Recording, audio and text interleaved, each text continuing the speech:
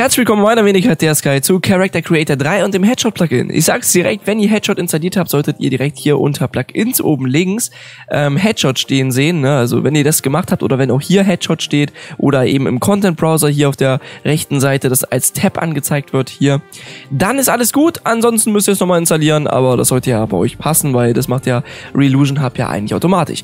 Ja, Character Creator 3 Headshot ist letztendlich nichts anderes, als dass wir Bilder nehmen von Menschen, wie zum Beispiel hier dieses Bild oder hier dieses Bild. Und wir tun jetzt letztendlich das einfach in das Plugin reinziehen oder auf das Plugin draufziehen auf dem Feld. Und er erstellt uns daraus automatisierte 3D-Charaktere. Das ist extrem nice, hier solche Bilder könnt ihr natürlich A mit einem Handy selber aufnehmen, B mit einer Kamera von irgendjemandem abfotografieren, natürlich mit dessen Erlaubnis. Oder wir gehen C auf ähm, AI-Webseiten, also auf künstliche äh, Bilder, also die von der künstlichen Intelligenz generiert wurden. Zum Beispiel wäre hier generated.photos. Link ist übrigens so in der Beschreibung. Das heißt wirklich so, generated.photos.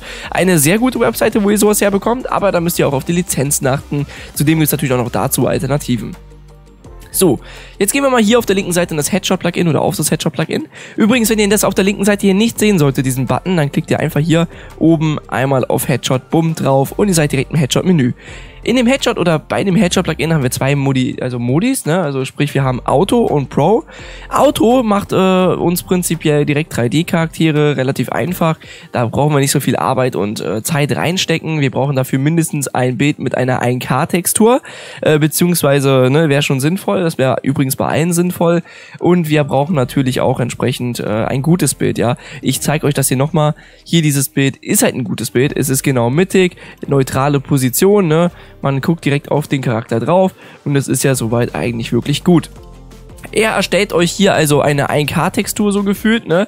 Ähm, automatisiert mit 3D-Haaren. Es ist voll automatisiert, habe ich gerade eben schon gesagt. Bedeutet, ihr müsst kaum noch irgendwas machen.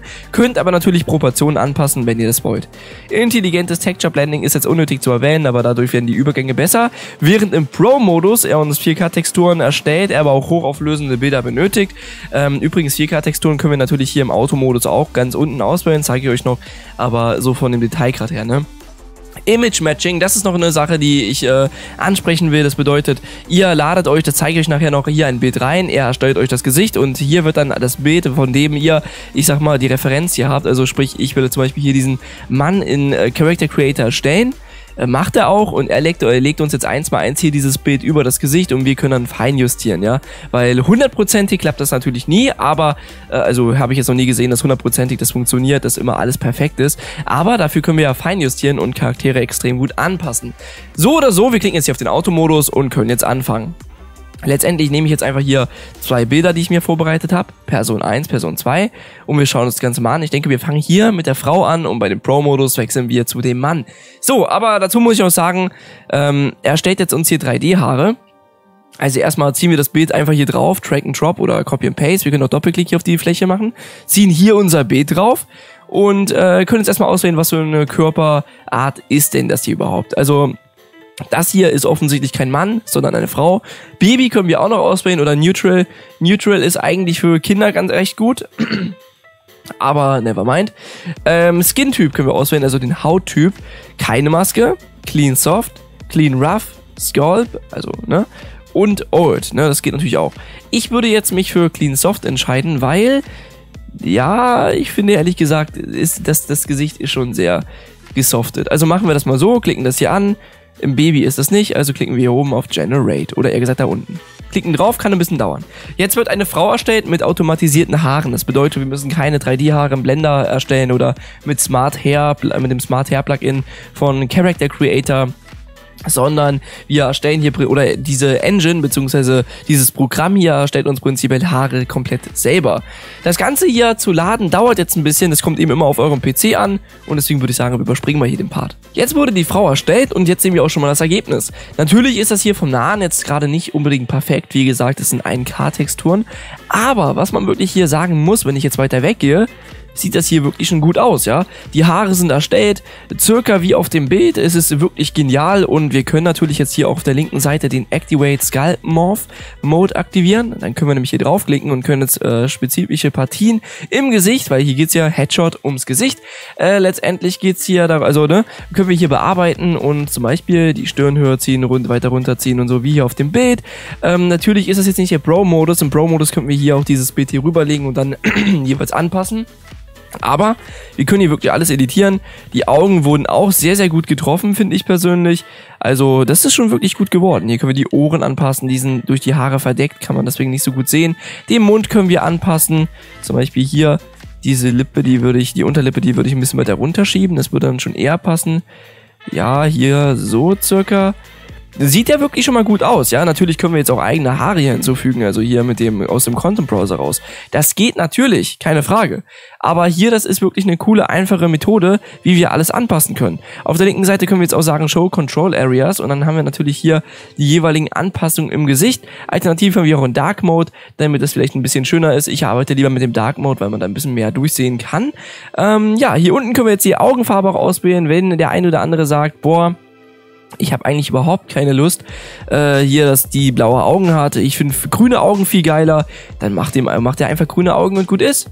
Hier, das sieht mir jetzt aber irgendwie eher nach blauen Augen aus. Okay, da müssten wir vielleicht sogar noch ein bisschen selber justieren. Können wir hier in dem Farbfeld machen. Okay, es gab gerade ein Malheur. Character Creator ist gecrashed durch irgendwas, was ich gemacht habe. Egal. Auf jeden Fall wisst ihr jetzt, wie man Augenfarben ändern kann. Das ist natürlich extrem leicht. Hier können wir auch nochmal die Skin-Maske ändern. Also hier, damit wir mehr Kontur haben. Damit die hier im Bart bekommt. Äh, was auch immer. Nee, das, das wollen wir jetzt natürlich nicht. Aber äh, wir haben hier auch natürlich die Auswahl, sie sehr alt zu machen. Geht alles. Hautfarbe zu ändern. Und natürlich auch nochmal die Masken hier zu ändern und äh, zu überblenden blenden. Das macht man hier dann zum Beispiel. Zum Beispiel, wenn die Augen nicht gut aussehen oder wenn hier die Gesichtsränder nicht gut aussehen. Aber ich muss wirklich sagen, im Normalfall macht dieses Programm, also eher gesagt das Plugin hier, das extrem genial. Muss man ganz klar sagen. Hier unten als gutes guter Letzt können wir natürlich auch die Texturauflösung noch auswählen auf 4K. Äh, das macht jetzt keinen großen Unterschied, äh, weil hier ja nur 1K-Texturen erstellt werden. Jetzt kümmern wir uns um den Bro-Modus. Für den Bro-Modus nehme ich jetzt einfach mal das Bild von dem Mann. Warum? Eigentlich macht das keinen Unterschied. Wir können natürlich auch die Frau nehmen, aber der Unterschied hier ist ja ganz klar. Äh, warte mal, nehmen wir mal hier. Ähm, ja, ich weiß gerade. Nee, nehmen wir mal Old, okay? Einfach aus Prinzip nehmen wir jetzt mal kurz Old, auch wenn er jetzt nicht so alt ist, also jedenfalls nicht so alt aussieht. Ja, komm, wir nehmen hm. Ja, nee, wir nehmen mal Old, weil äh, er hat eben hier schon ein paar Altersspuren und ich bin mir jetzt eben nicht sicher, wenn wir jetzt hier nur Bart und äh, so ein Zeugs machen, dass der dann, äh, dass das Programm dann halt das so macht, wie ich das jetzt halt will, ne? Während alt, Altersspuren und so, sieht man hier auch auf dem Bild schon, da geht das eigentlich vollkommen klar. So, hier haben wir es jetzt. Jetzt ist er natürlich sehr alt geworden. Also wenn ich jetzt mal hier hochgehe, okay nee, das war vermutlich dann doch falsch, aber das ist kein Beinbruch, denn wir können das natürlich immer noch alles ändern. Das sieht natürlich jetzt schon dezent alt aus. Die ganzen Hautdetails finde ich aber dennoch geil. Jetzt hat er natürlich schon sehr graue Haare. Wir haben den äh, Herrn hier leider gerade nochmal um, naja, 15, 20 Jahre einfach nochmal, naja, ne? Älter gemacht nicht schön, aber kriegen wir hin. Das war jetzt aber eine Fehlanstellung von mir. Auf jeden Fall haben wir hier das wunderbare Smart äh, bzw. das Bro Tool und können hier wieder auf Activate, Sc Activate Scalp Mode draufklicken und jetzt haben wir auch die Möglichkeit, das Image Matching Tool anzuwenden und hier sehen wir schon, was passiert. Also zum Beispiel habe ich jetzt hier die Möglichkeit, ganz easy zu sagen, die Opacity von dem Bild, ne? Äh, haben wir hier. Jetzt haben wir hier das Gesicht und eher gesagt den Schädel. Und wir sehen schon, dass hier irgendwas nicht passt. Ne? Also die Ohren, okay, die müssen wir nochmal anpassen. Das Gesicht müssten wir anpassen, logischerweise. Wir können hier oben auf Head draufklicken, hier unter ähm, Morphs und dann hier unter Head und dann können wir alles natürlich auch anpassen. Ne? Das haben wir ja, also das habe ich ja alles schon mal gezeigt, aber wir klicken jetzt mal hier auf Headshot unten, weil das gibt mir ein paar mehr Optionen. Und wir sagen jetzt hier, die Kopfweite, die ist noch ein Problem, finde ich persönlich. Vor allem die auf der linken Seite, beziehungsweise von dem aus gesehen auf der rechten Seite. Wir sagen jetzt Bake, damit wir hier weiter das machen können. Machen das jetzt hier mal so circa. Ich denke, das könnte eigentlich passen. So, ähm, ja gut, wenn er hier oben die Haare hat, fängt der Haaransatz hier an. Heißt also, ich würde wirklich davon ausgehen, dass die Höhe des Kopfes noch falsch ist. Äh, so, Head Scale, machen wir mal so. Ja, so passt das schon eher und jetzt können wir natürlich auch die Ohren anpassen. Ja, die Ohren müssen wir so machen, dass sie circa ein bisschen wenigstens äh, leicht abstehen. Die Ohrläppchen unten müssen natürlich auch noch ein bisschen äh, größer beziehungsweise die Ohren vielleicht auch ein kleines Tick, also so, ne, so circa mittig. Ja, jetzt können wir die wieder hier hochziehen. Einfach linke Maustaste gedrückt halten und hochziehen. Und dann passt das nach und nach. Und das ist eben das Coole. Äh, das ist eben eine Sache, wo wir, ich sag mal, extrem genial einen Charakter bearbeiten können, so dass es immer oder dass es eben gleich aussieht, ne, beziehungsweise halbwegs gleich. Und da habe ich schon Bilder gesehen, wo die eben Charaktere übelst gut nachgemacht haben. So, jetzt können wir hier natürlich den Kopf noch ein bisschen stretchen, so ungefähr, weil er hat ja kein rundes Gesicht, er hat ja dann schon eben, ne, aber ansonsten finde ich das hier schon mal super gut. Wenn ich jetzt auf der linken Seite hier aber gucke, können wir natürlich auch die Lippen und alles bearbeiten. Das brauchen wir jetzt erstmal nicht. Die Augen brauchen wir auch nicht. Aber jetzt hier unten können wir auswählen statt Old May, äh, Old Male, können wir natürlich ähm, auch einfach sagen, okay, wir nehmen jetzt hier einfach kein Old Male. Aber wir nehmen hier mit Bart und mit äh, hier Stuppe ne, auf den Kopf. Das Ganze können wir aber auch hier unten einstellen. Also Skin, Old Face. Das ist jetzt eben so die Sache. Da muss ich jetzt kurz mal das Vergleichsbild öffnen. Also es tut mir leid, aber der hat eben noch nicht, also er hat zwar Falten, aber er hat nicht dieses alte Gesicht hier mit den Altersflecken und allem möglichen. Äh, machen wir das mal kurz so.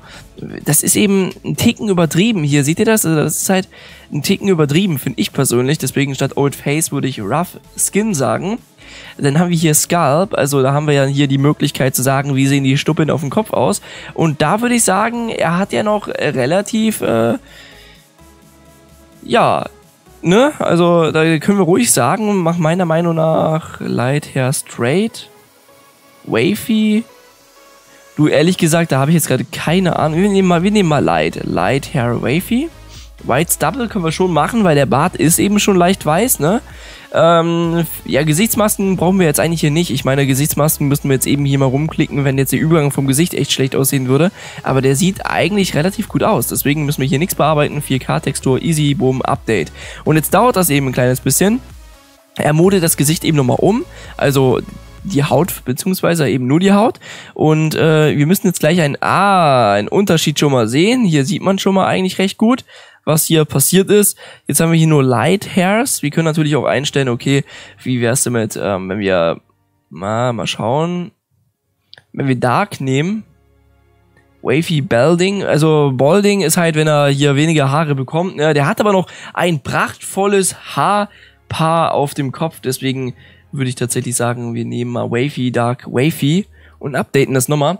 Wisst ihr, hier könnt ihr wirklich stundenlang rumspielen und das ist wirklich so eine Sache, wo ich dann sage, oh mein Gott, das, darauf stehe ich, auf solche Programme stehe ich. Und wenn er es hier jetzt geupdatet hat, sehen wir jetzt, dass es hier ein bisschen intensiver geworden ist. Alternativ können wir sagen, statt Hair Wavy, Hair Straight, können wir natürlich auch sagen. Ne? Also klar, äh, gucken wir uns das jetzt einfach mal an, damit wir es auch gesehen haben. Ähm, er hat ja, wie gesagt, ne, also ich würde sagen, zu ihm passen sogar weiße Haare. Also, ne, so nach und nach. Aber das hier sieht natürlich auch nicht schlecht aus. Wobei das jetzt hier ein bisschen zu komisch aussieht, weil, nee, also da würde ich sagen, Hair Straight Light, nehmen wir Light. Wir gucken erstmal, was Light ist. Im Notfall machen wir wirklich weiß, aber ich glaube, der gute Herr braucht noch keine weißen Haare. Ähm, natürlich müssen wir die Gesichtsproportion noch anpassen. Mit richtigen Haaren sieht es natürlich noch mal einen Ticken besser aus. Die müssten wir natürlich auch noch dazu machen. Jetzt sieht er irgendwie so aus wie, ich weiß nicht, irgendwie so ein äh, Soldat oder sowas, weißt du, mit so geschorenen Kopf und allem. Ihr könnt aber auch mal White Hair machen. Einfach nur so aus Prinzip White Hair, straight und gut ist, ja. Da haben wir natürlich verschiedene Texturen hier und das Ganze sollte dann letztendlich Trommelwirbel bitte, Übergang, so aussehen. Jawohl. Oh, jetzt sieht er echt schon etwas älter aus. Macht aber nichts, wir arbeiten jetzt erstmal damit. Sieht ja soweit eigentlich gut aus, muss man mal ganz klar sagen. Also gefällt mir. Und jetzt können wir natürlich hier, wie gesagt, alles bearbeiten auf der rechten Seite und der Headshot können wir jetzt sagen, also Headshot ist natürlich so ein Plugin, wo wir dann genau detailliert alles hier im Gesicht bearbeiten können, habe ich gerade eben schon mal gesagt. Hier geht das natürlich unter Head auch, ja. Keine Frage. Gönnt euch das, wir können vieles hier einstellen, aber Headshot dagegen, da können wir wirklich alles einstellen. Also wirklich alles Mögliche, das ist einfach, das ist einfach genial. Das kann man gar nicht anders sagen. Face, äh, Gesichtsweite, Gesichtshöhe, wir können hier wirklich alles äh, einstellen. Das, das ist, ich finde, es ist Gold wert. Also dieses Programm, ich liebe es einfach, weil das ist halt wie so eine Art du spielst wie die, Sim, äh, die Sims, ja, nur eben, dass du hier nochmal, äh, ich sag mal, viel detaillierter deinen Charakter einstellen kannst, ne? Whoop, whoop, whoop, whoop. Okay, so machen wir das mal so. Der braucht ja auch ein bisschen Platz für sein Gehirn. So, Upper Death, ah, hier sehen wir auch. Hier können wir sogar einen, so einen Uhrzeitmensch erstellen, theoretischerweise, ne? Also, das, ich finde es einfach ultra nice. Also hier können wir wirklich alles erstellen. Die Urzeitmenschen hatten ja hier sehr prägnante Gesichtszüge und so. Das geht hiermit tatsächlich auch, dass wir sowas erstellen könnten. Wir müssen das hier unten rechts immer nur baken, ja. Also wenn wir das Maximum hier erreicht haben, baken. Ganz easy. Soll ich mal kurz gucken. Was machst du? Ah, interessant. Ja, ich würde mal schätzen, das sieht bei ihm so aus, circa. So durchschnittlich eben. Ach du Scheiße. What the hell? Computer sagt nein. Ja, ja, genau so. Nee, also, es, es ist wirklich genial. Also, mir gefällt das hier. Ich glaube, wir haben gerade das Gesicht komplett zerstört. Kann, kann das sein? Ja, minus 27. Kann man hier, bei 0 sieht das so aus. Wir müssen schon machen, dass das so circa aussieht. Und dann können wir hier wirklich alles einstellen. Ja, also hier das Ohr, das Auge, das einzelne Auge. Natürlich, da können wir wirklich alles Mögliche einstellen. Ähm, Eye Scale, wie groß und klein die Augen sind. Die Augenhöhe natürlich, wo die genau sitzen. So. Ähm, aber auch nur von einzelnen Augen, wie man hier sehen kann. Also ist es wirklich genial. Warte mal, Maus, Nose. Nose können wir auch einstellen. Wunderbar. Die Breite der Nase. Jetzt können wir aber wirklich mal auf das Bild gucken. Also hier haben wir ja oben das Bild, ne? Und wenn ich jetzt mal hier drauf gehe, dann sehen wir ja schon, dass die Nase eigentlich schon fast perfekt ist. Aber ich glaube, die muss ein bisschen breiter, so circa. Und dann passt das eigentlich. Also ich find's nice. Äh, was ich noch cool finden würde, da bin ich ganz ehrlich, wenn im Pro-Modus auch wirklich gute Haare generiert werden würden oder gleich mit generiert werden würden. Aber ich glaube nicht, dass das kommen wird, weil da gibt's ja diesen Smart Hair Generator. Ähm, ich find's aber noch ein bisschen schade. Ich hätte ihn gerne so, keine Ahnung, mit Headshot gekoppelt gesehen, dass man da eben noch ein bisschen dies und das, weißt du, ähm, einbaut und dann einfach sagt, okay, warte mal, wir sehen das ja hier. So circa passt das. Dass man einfach sagt, okay, du tust jetzt hier letztendlich einfach wirklich einen Charakter erstellen und er tut dir wirklich richtig gute Haare direkt dazu generieren. Ähm, statt so Low-Poly-Haare bzw. Low-Quality-Haare im, äh, im Automodus, die wirklich cool sind für Simulationsgames, aber eben für richtig realistische Sachen eben nicht so ganz. Hier so ganz leicht. Wisst ihr, wenn man das so ganz leicht macht, sieht es ja eigentlich wirklich geil aus. Naja, egal. Rumexperimentieren könnt ihr mal selber. Schreibt ihr mal eure Meinung dazu in die Kommentare. Wir sehen uns im nächsten Tutorial. Haut rein. Ciao, ciao.